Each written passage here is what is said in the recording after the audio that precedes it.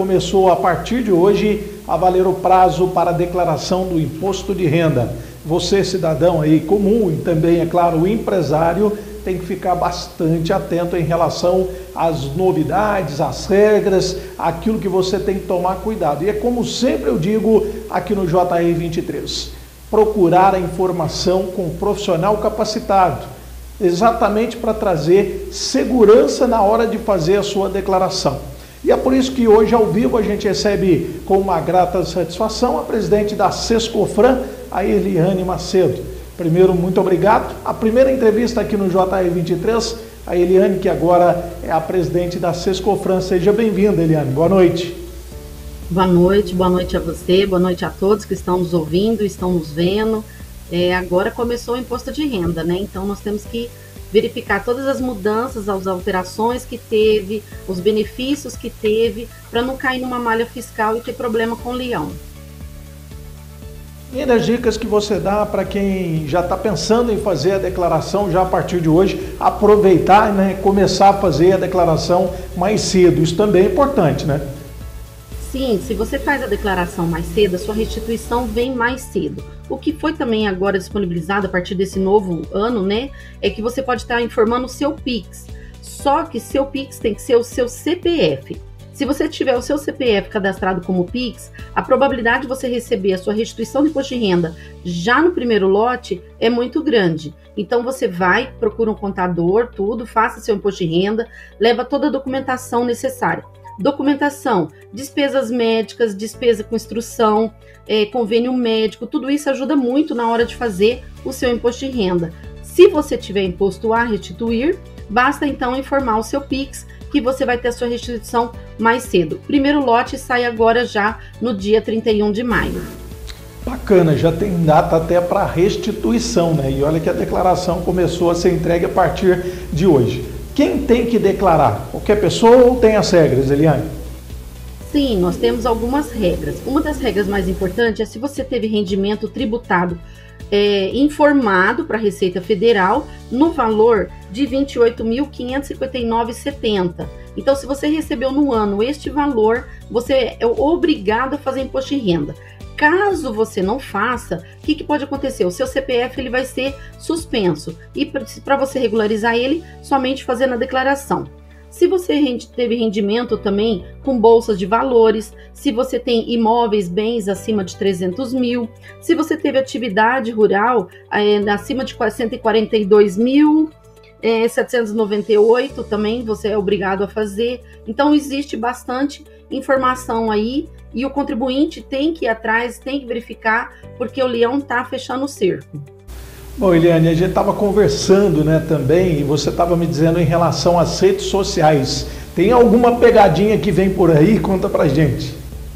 Bom, das redes sociais você tem que tomar muito cuidado, porque às vezes você fala que você não, não tem rendimento, mas você tá lá, né, tirando suas fotos lá em, em Cancún, nas Ilhas Maldivas, é, muito Pix na sua conta. Com certeza a Receita Federal está fechando o cerco e ela vai te pegar.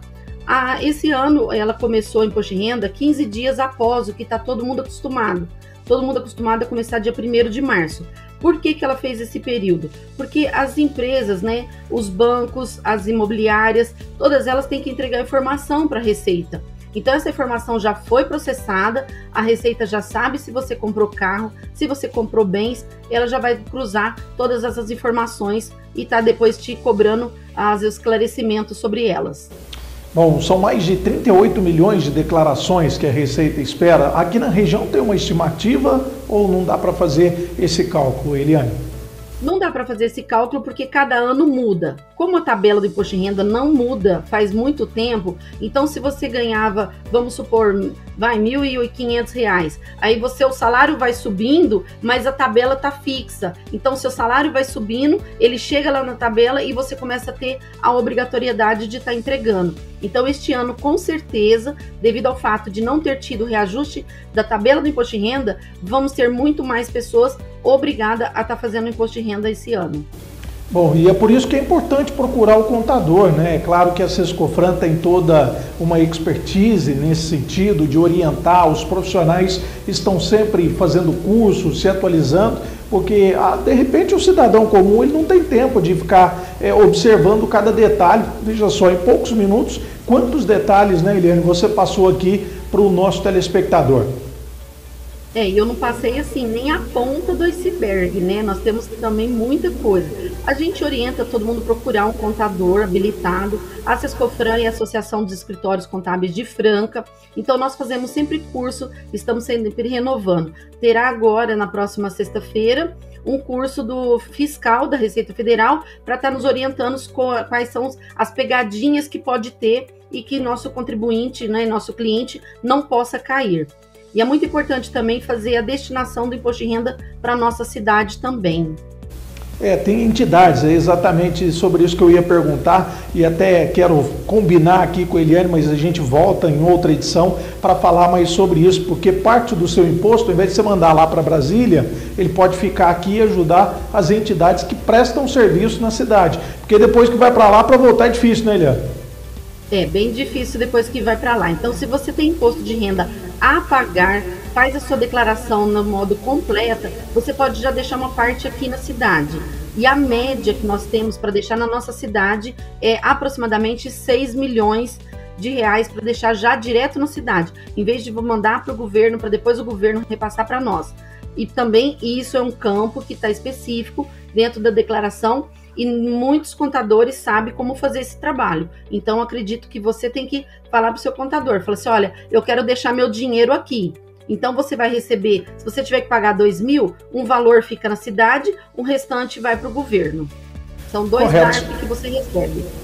Correto. 7 horas e 23 minutos, muito bacana, dinâmica entrevista, trazendo orientação para você que está nos assistindo agora, seja na, pelo canal 23, seja aí na palma da sua na palma da sua mão, né, o JR 23, e tem outra novidade, porque a Sescofran, ela faz, além do trabalho de orientar os empresários, ela também tem a parte social, com a campanha Contador Solidário. Eu estou sabendo que já foi lançada. É, tem novidade, é, eu, eu posso estar enganado, Eliane, mas é a sétima edição da campanha, é isso? Isso, todo ano nós fazemos um, uma vaquinha bem gorda, né, para ajudar nossas entidades. Então nós pedimos o quê? Para o contador fazer doação de um honorário dele para a Sescofran.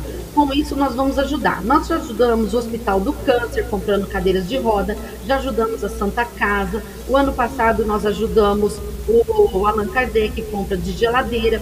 E esse ano já conversamos com o Daniel e a Eliane, os diretores lá da Aliança, eles estão é, construindo um imóvel novo e nós queremos ajudar.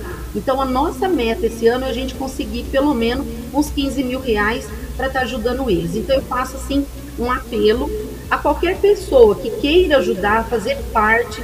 Essa, esse, essa ajuda ela é totalmente anônima, ela leva o nome da Sescofran, mas é uma grande gama de contadores que ajuda todo ano com as entidades. E já estamos ainda é, com essa campanha lançada para esse ano.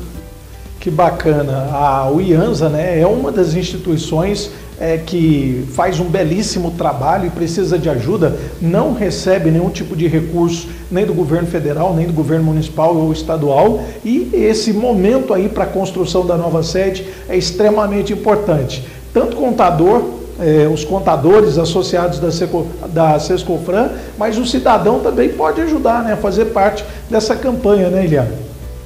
Pode, pode sim. Para quem não sabe, o IANSA é uma casa que acolhe aquelas pessoas que estão fazendo acompanhamento do paciente no hospital do câncer. Então o paciente fica dentro do hospital, o acompanhante ele fica sem espaço. Então ele vai para o IANSA, ele tem um café, ele tem um almoço, ele tem um espaço para ele ficar e é, uma, é um trabalho muito lindo que é feito do IANSA. Então, assim, eu acredito que todos os contadores poderiam se sensibilizar e ajudar também a essa entidade maravilhosa.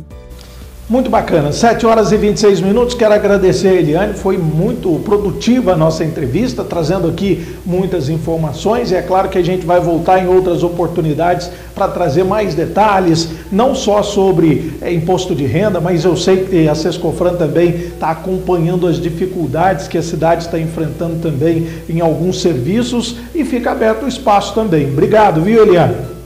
Muito obrigado, uma boa noite a você, uma boa noite a todos.